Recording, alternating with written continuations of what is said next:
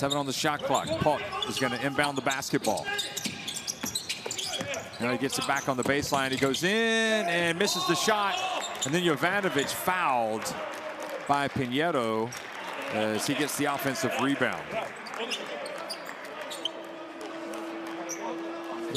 Yep, great call by the ref.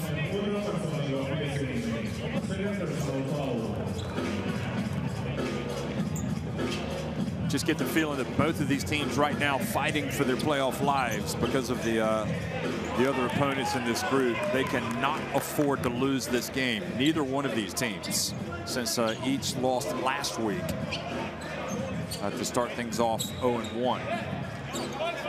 Jovanovic uh, was arguing that he was going for the shot, but the referee was like, no, you were just rebounding it. So they're going to inbound the basketball with uh, a new 14 on the shot clock.